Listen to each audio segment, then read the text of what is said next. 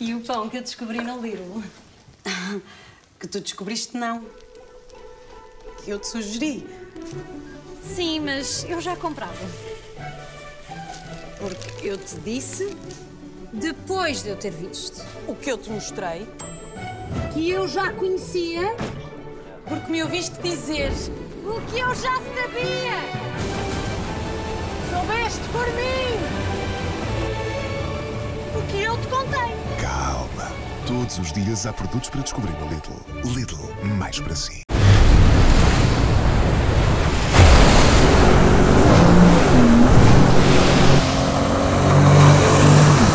Eu acho que não consigo.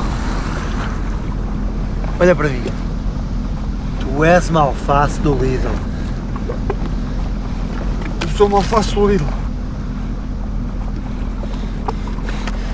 Eu sou uma alface do Lidl. Eu sou uma alface do Lidl!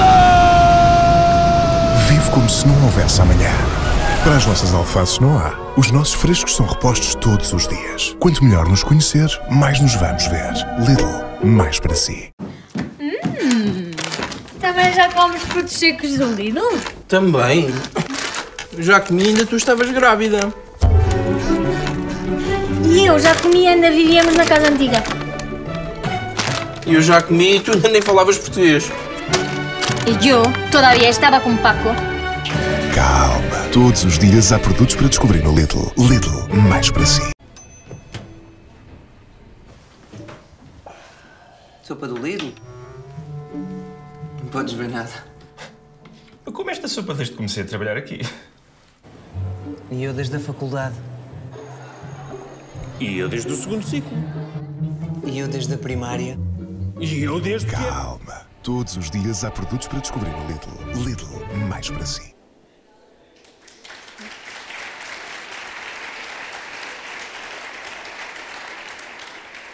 Filipa, começo por ti.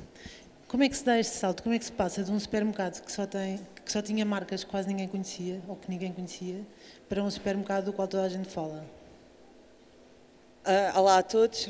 Ahm, em primeiro lugar, é um trabalho que não é fruto de uma pessoa ou de um departamento. Em primeiro lugar, é um trabalho fruto de uma, de uma equipa.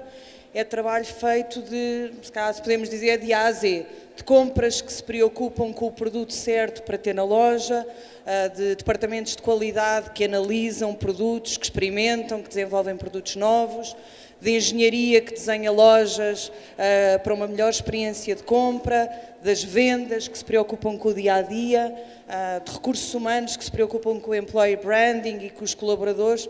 Portanto, há aqui um trabalho fruto de uma, uma, um sem número de pessoas, de milhares de pessoas todos os dias. E depois há um marketing que temos a sorte e temos o privilégio de dar voz ah, a esta empresa e de dar voz àquilo que queremos dizer. E é nesta voz que nós procuramos ser relevantes, originais e olhar para as coisas de uma perspectiva que seja, que seja interessante. Nós também temos a consciência que temos centenas de milhares de clientes por dia e que tocamos centenas de milhares de clientes todos os dias. E, portanto, também temos a consciência do peso da responsabilidade que temos. E aí uma coisa que é, que, é, que é muito importante é nesta responsabilidade e neste sentido é o sermos verdadeiros. Aquilo que nós dizemos e aquilo que nós dizemos com, com as alfaces ou com os frutos secos são coisas muito verdadeiras e são coisas que acontecem. Portanto, aquilo que nós prometemos é aquilo que fazemos e aquilo que dizemos é aquilo que entregamos. Quando vemos a alface e porque é que elas não, porque é que vive como se não houvesse amanhã, é porque de facto é um insight que é verdadeiro para os frescos, eles são repostos todos os dias. E portanto é toda esta construção de equipa e esta construção de marca e esta construção de nós marketing que damos voz que tem feito, que tem feito este caminho. Depois claro que há outra coisa que são os nossos produtos. A qualidade dos produtos, ela que experimenta os frutos secos, o que experimenta as sopas, as lasanhas, os fruta, as frutas e verduras, a qualidade e os próprios produtos são embaixadores da marca e que faz com que se fale e que se faz com que nós gostamos de dizer já provaste, eu provei, vem descobrir, eu fui o primeiro a descobrir. E, portanto, os produtos também fazem, também fazem este, este lado de, de falar com a marca. E, portanto, é tudo isto em conjunto que depois permite chegar de facto a uma marca em que hoje toda a gente fala. Os dados de reputação saíram há 15 dias ou há 3 semanas e de facto sermos a oitava marca com maior reputação no mercado é assim qualquer coisa que até para nós, de repente é, uau, nós estamos tão embrenhados no nosso dia a dia que depois estes resultados são frutos de todas estas pequenas vitórias e fruto de toda esta gente a trabalhar para, para este lado comum.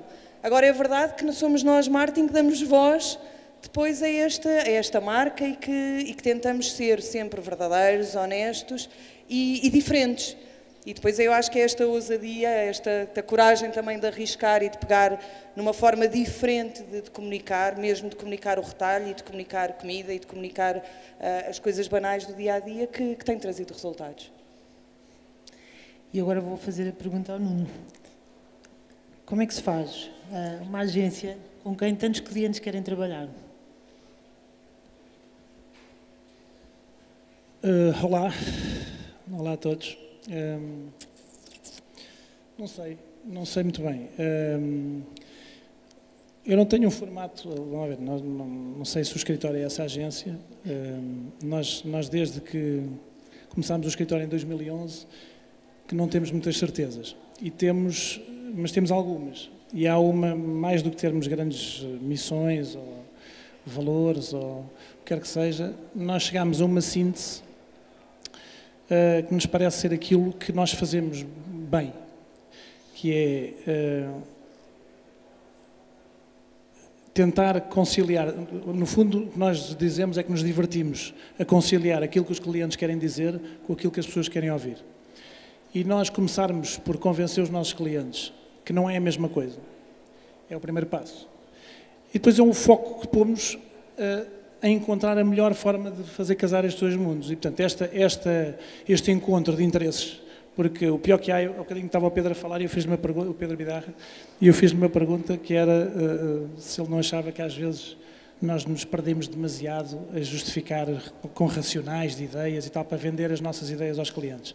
E eu acho que há um erro uh, recorrente na nossa indústria que é esse, que é nós demasiadas vezes apaixonamos-nos por ideias que não são tão relevantes assim para as pessoas e, e tendemos a vendê-las com toda a, a, a, ganância e ficamos muito contentes quando elas vão para o ar. E depois o choque vem depois quando as pessoas não reagem àquilo que nós dissemos da mesma maneira.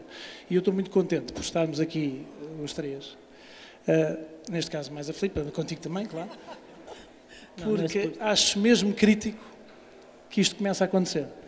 E acho que um dos problemas da nossa indústria é a falta de respeito. Acho que as agências são pouco respeitadas, acho que os clientes dão pouco valor àquilo que nós fazemos, a maioria dão pouco valor àquilo que nós fazemos. Já, já falaram algumas pessoas aqui sobre isto hoje. Uh, e acho que se nós queremos ganhar mais respeito, convém começarmos a ouvir melhor os clientes e a traduzir no nosso trabalho aquilo que os clientes querem dizer, que é para depois ser uma vitória de todos e não ser uma vitória da agência, ganham mais um prémio ou outro prémio, uh, e, e, uma vitória de todos. E, portanto, eu acho que o mais importante, se tu me perguntares qual é a grande virtude do escritório hoje, eu acho que é nós conseguirmos casar isto, casar o interesse dos clientes e os clientes perceberem o mais rapidamente possível que estamos do mesmo lado da mesa. Ouvir os clientes? Não, ouvir o que os clientes têm para dizer, entendermos o que os clientes têm para dizer e pôr a nossa criatividade ao serviço do que os clientes têm para dizer, mais do que aquilo que nós achamos que temos que dizer. E, portanto, e sentirmos todos que estamos do, do mesmo lado da mesa, que nos vai ajudar a, ter, a ganhar esta confiança para depois fazermos parvoíces como estas, porque de repente aquilo é muito importante que a Filipe e que todos os nossos clientes entendam que nós não estamos aqui para fazer o nosso portfólio, nós estamos aqui para ganhar uma, para, para, para, para crescer às custas dos clientes. Nós estamos aqui para que eles brilhem Epá, e, e, em princípio, se o nosso trabalho for bem feito, porque é essa a nossa função, nós vamos brilhar também. Há uma, há uma, eu, eu acho mesmo que é, é possível fazer um trabalho decente, apesar do cliente, mas não é possível fazer bom trabalho se não for com o cliente. E eu sinto muitas vezes no discurso das conversas entre nós, nós ah, mas o cliente não deixou, ah, mas o cliente disse isto, ah, mas o prazo e tal. Certo, isto não são problemas, são variáveis. E nós, quer dizer, não somos artistas. Se fôssemos artistas, fazíamos o que queríamos. Como não somos, somos criativos comerciais, nós temos que entender que há variáveis, há, há regras, e é com essas regras que temos que jogar, e cabe-nos a nós uh, resolver os problemas dessa maneira. Muitas vezes, eu às vezes chateio a malta lá na agência, quando entram no, no, para apresentar ideias e entram logo assim: Bom, olha, tínhamos pouco tempo, tínhamos pouco dinheiro, já te apresentei, epá, parou a conversa. Daí vale a pena começar logo a justificar. Isto é sinal que a ideia é uma porcaria e que só vem cheio de desculpas antes. E, portanto, tínhamos pouco tempo e pouco dinheiro e, e apesar disso, fizemos as coisas bem. Portanto, eu acho que é este foco em fazer o resultado bem feito que tem funcionado até agora. Uh, vamos ver até quando. Há uma coisa, deixa-me só dizer uma coisa também Diz. que me parece importante. Eu já disse algumas vezes e eu... O objetivo é tu dizeres tudo o que te apetece. Eu só tenho aqui umas perguntas se não tiveres nada para dizer. Não, não, não. não. Eu vou-te só dizer uma coisa que me parece importante. Nós não temos, nós, escritório, não temos ferramenta comercial. Eh, não temos apresentação, quer dizer, nós não, não temos uma apresentação para chegar a um cliente e apresentar, ah, nós somos este e fazemos aquilo. Apresentação da agência? Não, tem, não existe. Porque até hoje, eh, desde 2011, nós nunca fizemos um telefonema a um cliente, nunca pegámos no telefone para desafiar um cliente a vir trabalhar connosco, proativamente. O que aconteceu desde de então foi que os clientes vêm ter connosco, vêm trabalho, eh, alguém lhes fala. E, e isto parece, porque eu me estou aqui a gabar disto, não estou, eu estou a dizer isto só por uma razão, porque isto faz com que a conversa faça logo sentido. Quando um cliente vem ter connosco e, e não fomos nós que o, que, o, que o convidámos a vir conversar connosco, de repente a conversa é uma conversa equilibrada é uma conversa com respeito, que é uma coisa que, que falta, e que de repente uh, uh, consideram-nos especialistas naquilo que nós estamos a fazer e vieram por alguma porque razão. Porque vão ter com vocês porque querem o trabalho que vocês já às fazem vezes, para outros. Às vezes acontece, não é o caso do livro, mas às vezes acontece eu quero uma coisa igual àquela, não, já não há, essa já saiu já e portanto vai ser outra coisa diferente. Mas, uh, porque vem à procura de, daquele tipo de trabalho e isto é crítico para que a conversa seja uma conversa de respeito em cada um dá o seu ponto de vista e que nós ajudemos com aquilo que sabemos fazer. Eu não entendo e, e, não concebo uma agência, quer dizer, onde de repente o cliente diz é, é isto que é para fazer e nós fazemos cegamente sem, sem questionarmos, porque não estamos a somar nada do nosso know-how. E portanto é este, é, é, no dia em que tivermos que, que ter com clientes a pedir trabalho, faremos, porque é assim que a coisa funciona. Até hoje a coisa tem acontecido assim, tem sido bom para, para nos ajudar a, a ganhar esse respeito, que é uma coisa que eu acho que nós devíamos trabalhar todos mais para ter junto dos clientes. Filipa, o que é que mais valorizas na tua agência?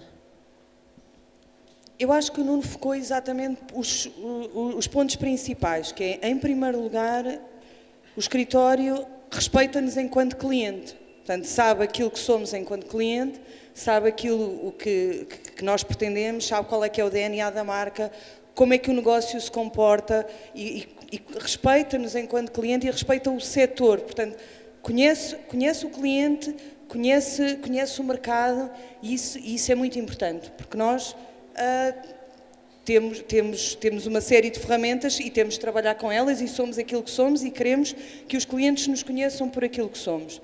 E, portanto, isso, isso é, é o, o primeiro. Depois é perceber o consumidor, ou é respeitar o consumidor. Mais do que conhecer é respeitarmos o consumidor, que era aquilo que eu não estava a dizer há bocadinho.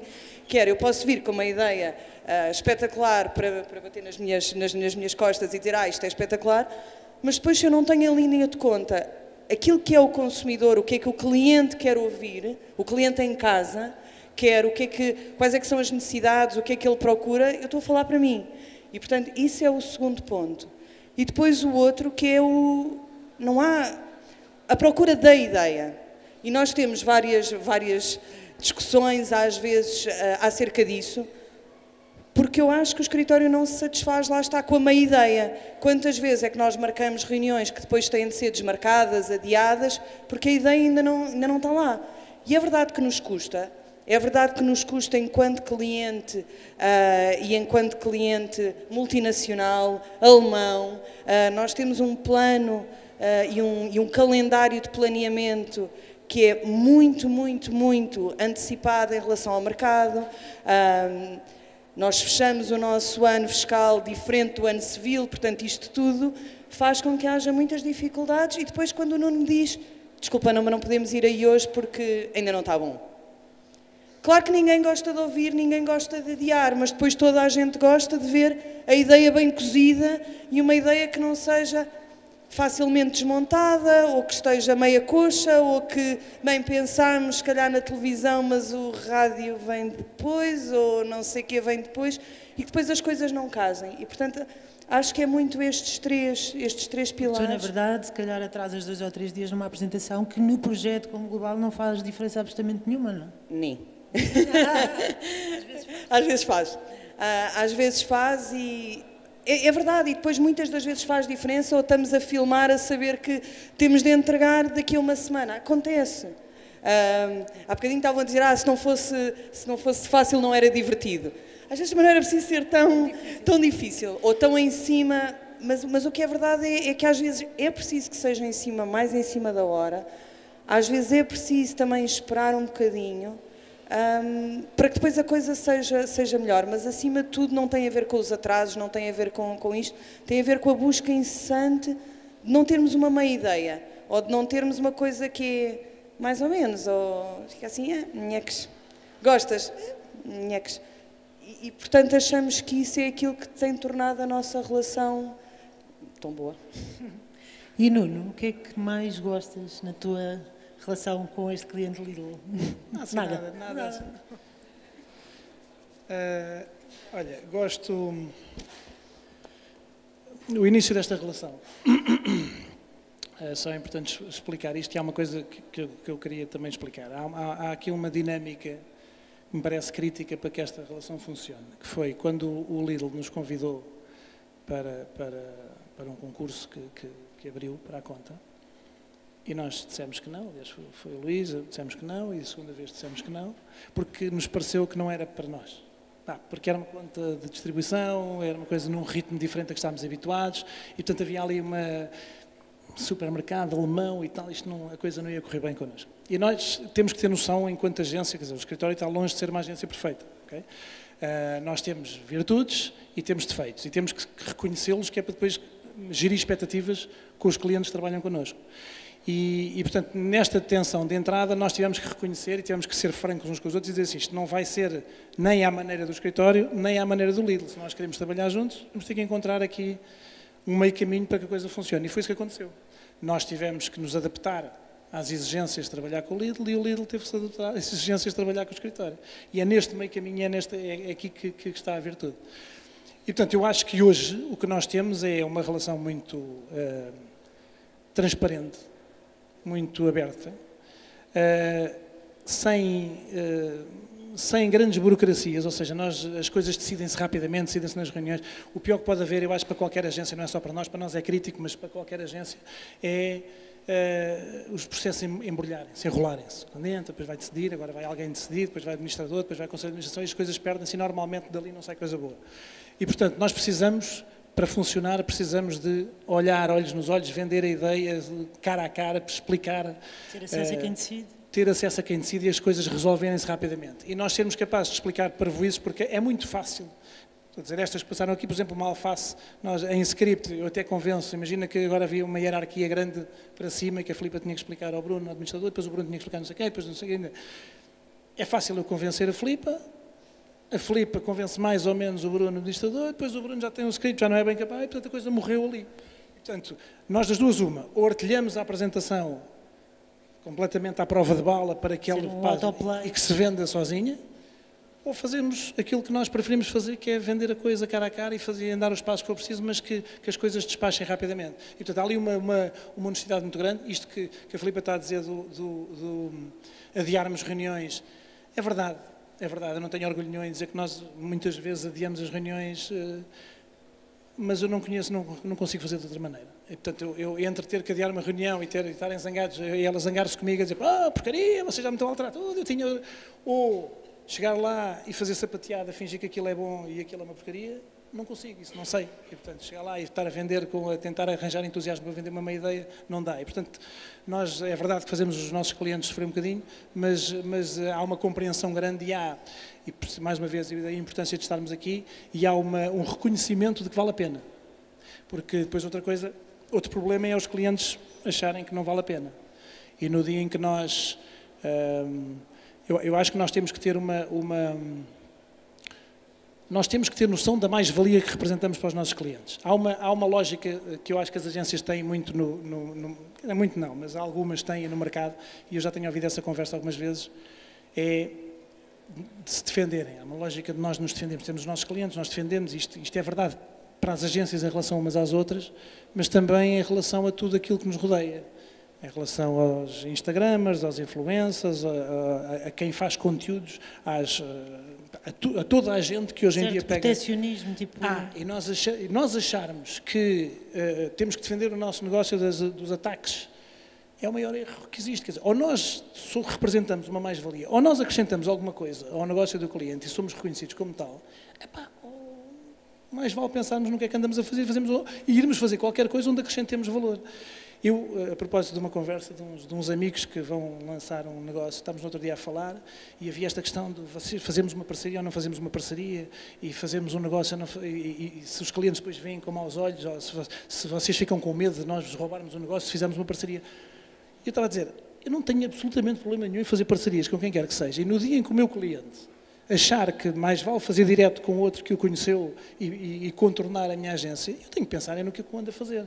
Não é a defender o meu cliente. Eu, ah, se eu não estou a acrescentar nada ao processo, então tenho que pensar na vida. É melhor repensar. É melhor repensar, estás a ver? Portanto, há aqui uma, há aqui uma, uma noção de mais-valia que nós temos que ter, até para estarmos blindados em relação a qualquer coisa. Quer dizer, se um Instagramer ou se um influencer ou quem faz melhor um trabalho de promoção de uma marca do que a minha agência, pá, o problema não é deles nem do cliente, é meu, porque não estou a acrescentar valor. E, portanto, eu acho que é essa, é essa noção que temos que ter e que temos essa transparência, porque eu prefiro, aliás, num dia em que um cliente não reconheça a, a, a, a diferença entre o nosso trabalho e da agência do lado e que acho que é igual, Pá, eu sou o primeiro a dizer, então vamos acabar com isto aqui. está ao futebol, por exemplo? Ao futebol já não, mas uh, uh, vou fazer outra coisa qualquer. Vou, vou, vou, trabalhar outro cliente e vou pensar melhor a minha vida.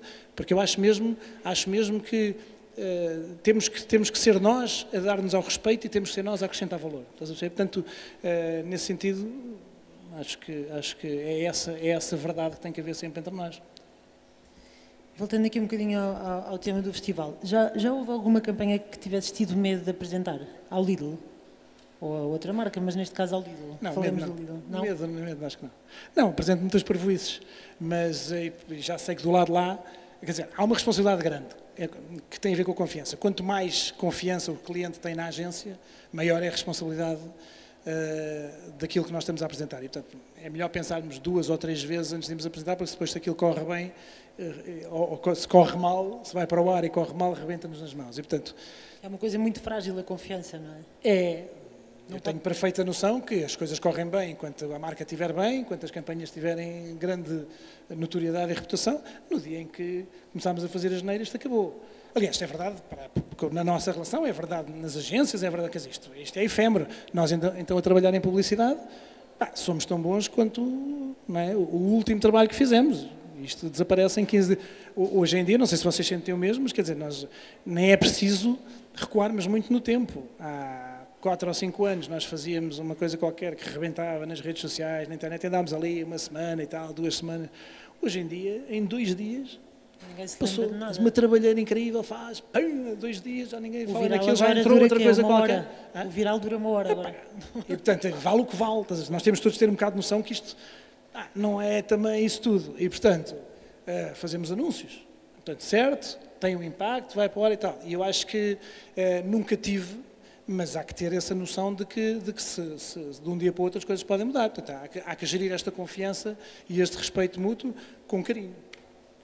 E Filipa, tu já tiveste medo de aprovar alguma campanha do escritório? Todas. Mas não. mesmo assim aprovaste? Mas mesmo assim aprovei. Não, não há, não, não, não, é, não é todas. Uh, não, é, não é medo, não, não, não é medo. Mas há aqui um, uma coisa que, que, que nos aconteceu enquanto marca e que nos acontece enquanto marca, que é nós queremos e nós, nós procuramos ser relevantes, ser interessantes um, e transmitir aquilo que, que, queremos dizer. Nós sabemos muito bem aquilo que queremos dizer e quais é que são os objetivos do negócio e temos objetivos de negócio muito claros e onde é que queremos chegar. Agora, quando nós estamos numa reunião em que vamos, vamos, receber, vamos receber uma campanha sobre frutas e legumes, como é que começa com um surfista dentro da água, tu pensas, oh diabo, onde é que isto vai parar? E há sempre aquele lado que, onde é que vai parar? Depois há o lado que nós de marketing, se calhar temos uma cabeça mais, mais aberta ou se calhar já, já estamos dispostos também a ver outras coisas e temos de pensar como é que isto depois resulta em termos, em termos do cliente. E por um lado, e claro que não podemos, não posso fingir que isso não acontece, nós somos uma multinacional um, e que e temos uma autonomia gigante e fazemos praticamente tudo a nível nacional, mas o que é certo é também aquilo que o Nuno diz. E está tudo muito certo enquanto corre bem, enquanto nós continuamos a crescer e enquanto as nossas campanhas estão, estão lá em cima. No dia que isso não acontecer, eu também se calhar tenho um telefonema de alguém a dizer o que é que se passa, o que é que se passa por aí. Agora, é verdade que também é este frio na barriga e, e, e, ver, se calhar no domingo à noite, quando a campanha vai para o ar, e perceber na segunda-feira ou na, no domingo à noite qual é que foi a aceitação, o que é que está a gerar, o que é que está a gerar de conversa. Se calhar este frio na barriga que também torna a coisa divertida e também torna hum, a coisa interessante e não fazermos sempre o mesmo. Claro que há ideias que, que o escritório às vezes nos apresenta e que nós adoramos, posso-vos dizer que adoramos, que são respondem a 100% do briefing, são insights verdadeiros, são ideias maravilhosas e que não, não aprovamos. Portanto, nem tudo, às vezes com grande Acontece. pena nossa, também com grande pena nossa, com mas não... Pena, com grande pena nossa também. Não, há, há, muitas que, que não conseguem ver, ver a luz do dia por, por N razões, ou há algumas que não conseguem ver a luz do dia com, por N razões. Agora, o que é certo é que tendo esta consciência de não, não, não, não aprovarmos uma, uma meia ideia, o escritório não nos apresentar uma meia ideia, termos esta consciência também do que é que andamos a fazer, o ousarmos ou o arriscarmos a fazer mais, a fazer diferente e a estar à frente, porque uma coisa é. Nós sabemos, nós sabemos aquilo que queremos dizer, sabemos o que é que queremos em termos de negócio, mas não temos medo de arriscar. E preferimos sempre estar um passo à frente do que depois estar a copiar. E enquanto nós tivermos esse passo à frente, também, também nos dá a confiança de que a nossa estratégia está no bom caminho. E depois, claro, temos os resultados. Olhar para uh, os estudos da Publivaga e perceber que somos líder incontestáveis em uh, recordação comprovada, ou se calhar perceber que no setor, em cinco campanhas, nós temos três no top da grado, ou que nós temos a melhor relação entre investimento e, e, e percepção, e, portanto, e ratings e, e percepção do cliente, tudo isto depois é prova de que afinal não, sou, não é só para nós, é, é, acima de tudo para, para, para, os nossos clientes e para os nossos consumidores. E depois também nos dá um aval grande, até mesmo da nossa internacional, que é deixa-os lá fazer aqueles disparates todos um grande parvoíces, metade deles não percebem porque está em português e, portanto, também não percebem a piada, porque essa é outra coisa importante, que é nós estamos a fazer campanhas e estamos a aprovar campanhas em Portugal para um cliente português. E, portanto, também há esta autonomia de perceberem que nem tudo funciona em todo lado. E, e, isso, agora, aquele frio na barriga existe e é, e é bom, não é? Deixa-me só dizer, deixa só dizer mais uma coisa em relação à relação entre o o, o Lidl e o escritório e que resulta no trabalho que nós temos feito. Um, e isto tem a ver com, com, Não vale a pena pensarmos que se nós trabalhássemos outra marca de distribuição, que era este género de trabalho que estamos a fazer. Isto é aquilo que, no nosso entendimento, é, é, o, é, o, é a linha de comunicação que o Lidl deve ser. O Lidl. É sempre tailor-made, não é? É sempre uma coisa. O Lidl, em função das características do Lidl, daquilo que o Lidl é na cabeça, é concretamente e é na cabeça das pessoas. E, portanto, se vocês pensarem em muitas das. Se é que pensam nisso, mas se pensarem em algumas das campanhas que nós fazemos para o Lidl, a maior parte das pessoas o que pensa, a alface é assim mais estúpida, este da alface que passou, mas, mas a maior parte de, de, das vezes não pensa, e que ideia brilhante, pensam, é que é isto verdade, mesmo, é, mesmo é verdade. E portanto, isso tem a ver com o Lidl, não tem a ver connosco. O que nós fizemos foi interpretar, é, é, interpretar esta relação que as pessoas têm com a marca e dizer assim, se a malta pensa isto era giro, fazemos umas histórias neste sentido e tal. E portanto, mesmo, mesmo desde a primeira campanha que fizemos, que era aquela do... Uh, uh, ainda me lembro da primeira vez que fui ao Lidl, foi por causa dos iogurtes. E o que as pessoas, não há uma única pessoa que diga, pá, que filme espetacular que vocês fizeram. Não há uma. Mas dizem assim, pá, é que é mesmo? Eu era os iogurtes, ou era a lasanha. Era... E, portanto, aquilo é uma verdade. É, é, foi encontrar a verdade sobre o Lidl e, de repente, cavalgar e explorá-lo ao máximo, que é o que nós continuamos a fazer. Se fosse outra marca, nós tínhamos que entender a outra marca, entender as, as virtudes e os defeitos. Porque, às vezes, também pode vir dos defeitos. Quer dizer, a nossa a linha de comunicação pode vir de tentar aproveitar aquilo que é visto como um problema. E isso é crítico, acho eu, eh, da mesma maneira, quer dizer, é crítico nós entendermos que eh, mais uma vez, não é a agência que tem ideias brilhantes e nós estamos aqui agora, vai Lidl, pá, ideias para o Lidl tal. Não, é, é entendermos isto e trabalharmos em conjunto, percebes? Assim como acho crítico e, e, e, e entusiasmante nós estarmos aqui a falar de campanhas que vocês já conheciam. Acho eu que a maior parte das pessoas já conhecia. E de repente eu acho que isto é um passo muito engraçado para que o mercado cresça porque não estou, não estou a dizer que são só as nossas, obviamente que isto aplica-se às conversas que vêm a seguir e a vários clientes, mas quando nós estamos a discutir e estamos a rir com coisas que vimos ou na televisão ou na internet, mas coisas que nós conhecemos e vimos, de repente já não, já não, já não há aquelas conversas constrangedoras de estarmos em jantares de família a dizer, tu o que é que tens feito? Pá, fiz uma coisa, depois eu mostro que, que era um briefing, uma coisa, tentar, estás a ver? Há uma coisa, há uma... É gratificante cada vez que um cliente nos chama e nós entramos na sala de reuniões e abrimos o nosso trabalho e dizemos, olha, somos estes, fizemos isto e tal, o cliente diz, ah, vocês fizeram aquilo e aquilo, e ou conhecem as coisas, ou uh, não sabiam que éramos nós que tínhamos feito, e dizem, ah, vocês é que... E, portanto, há uma relação com o trabalho mais do que perdemos aquele tempo. Isto foi, um, isto foi é um projeto onde eu tinha que fazer não sei o que mais e tal, e tinha bem um pro bono em que... é, isso é porreiro, às vezes o pro bono, quando é mesmo para ajudar, também é importante, mas acho que o mais importante era nós ajudarmos a que ver publicidade deixasse de ser uma seca. Voltando um bocadinho às verdades e que nós chamamos os insights. Um, eu adoro o filme da Alface, porque é super divertido, mas, mas é verdade que quando eu vi aquela campanha de eu é que descobri, eu é que descobri, aquilo mudou a minha percepção do Lidl, também por causa disso, não é? aquilo, aquilo de facto tem uma verdade absoluta de marca, não é? há ali produtos que não há em mais lado nenhum, mas também tem uma verdade muito grande de consumidor, que é as pessoas gostam de se vangloriar de que eu é que descobri. Como é que funciona entre vocês? Quem, quem é que chega aos insights? Quem é que descobre os insights do Lidl? Bem, hum, eu acho que não é um trabalho isolado.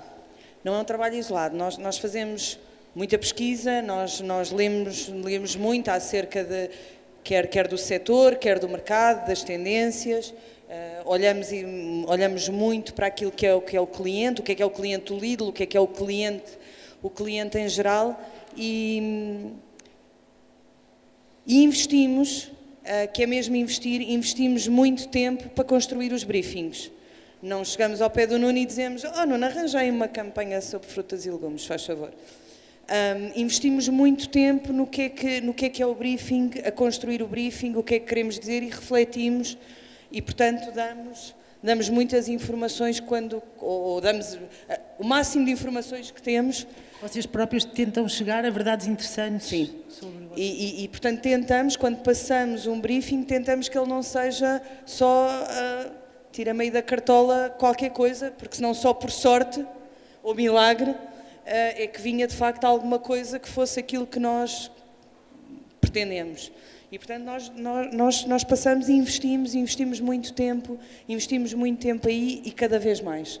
Cada vez mais queremos suportar aquilo que dizemos, ou aquilo que pedimos, ou aquilo que, que são exigências, ou até mesmo a nossa estratégia eh, em insights, quer de consumo, quer de mercado, quer de tendências, o que é que vai ser uma tendência daqui a dois, três, quatro anos, o que for.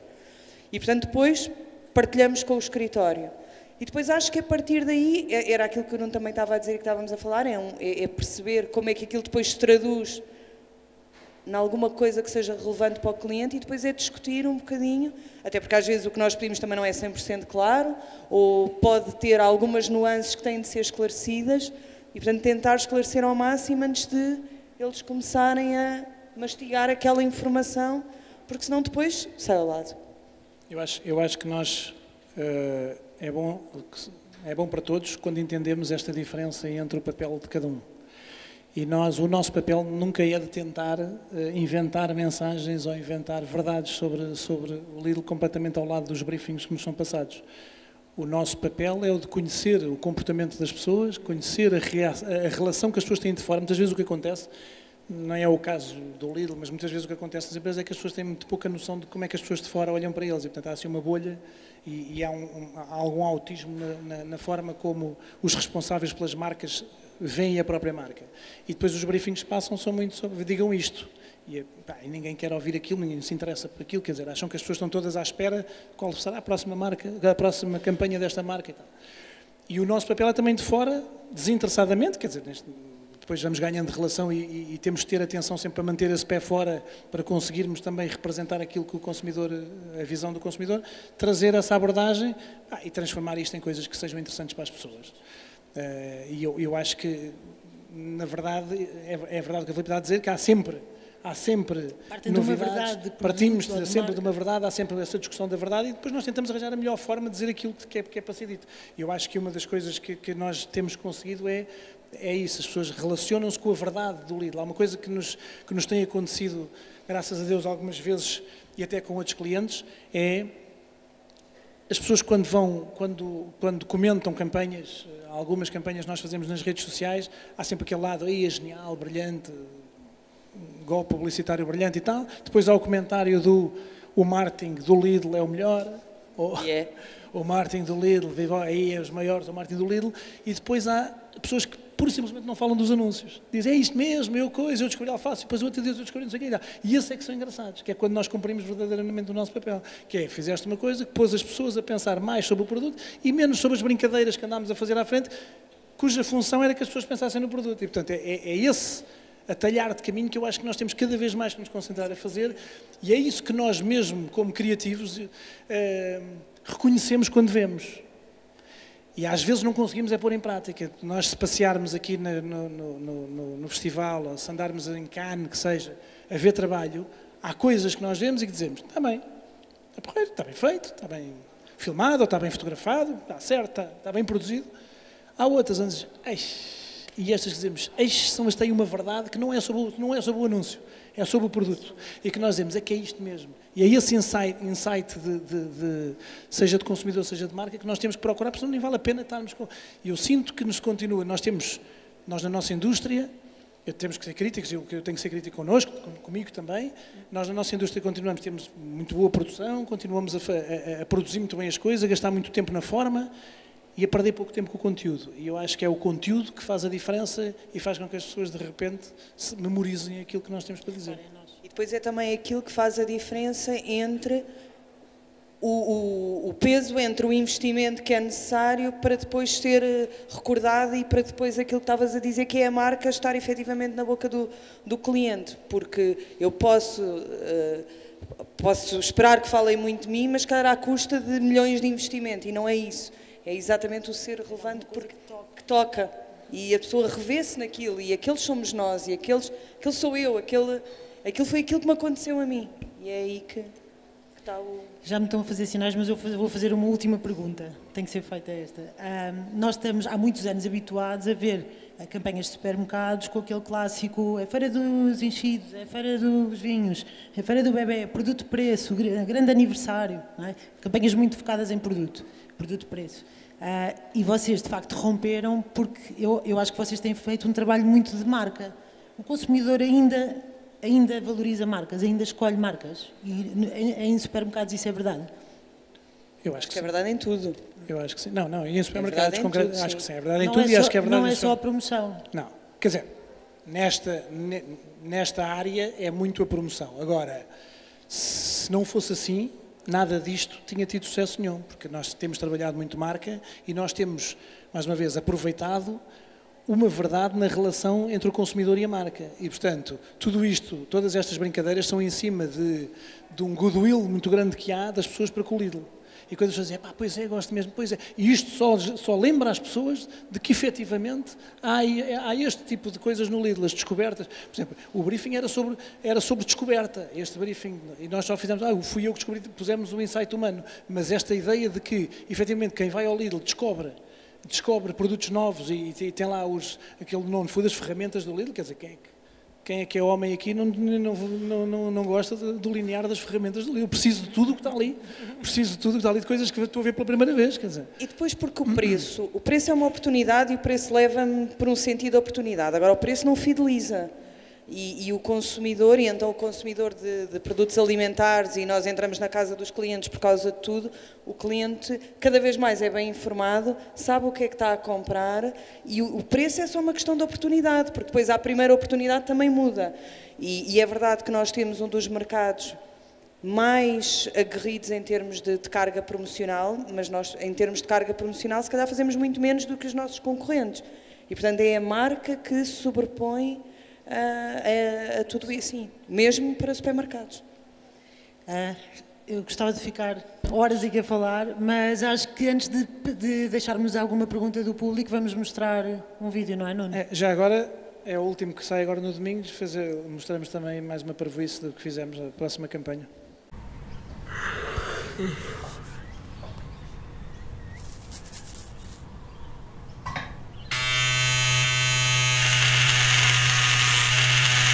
João, Hum. vou usar o teu computador.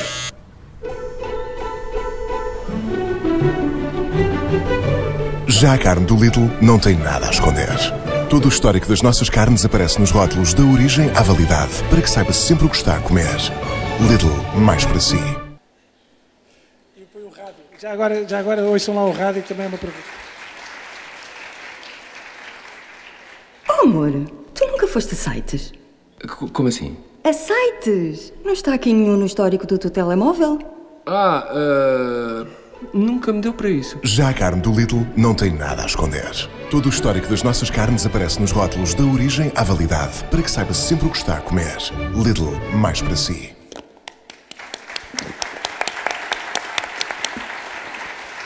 Obrigada, Nuno à Filipa. Se alguém no público quiser fazer, eh, nós vamos deixar uma, duas perguntas no máximo, porque tem uma pergunta.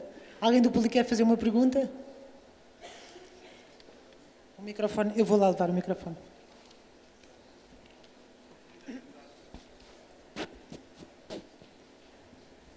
Boa tarde.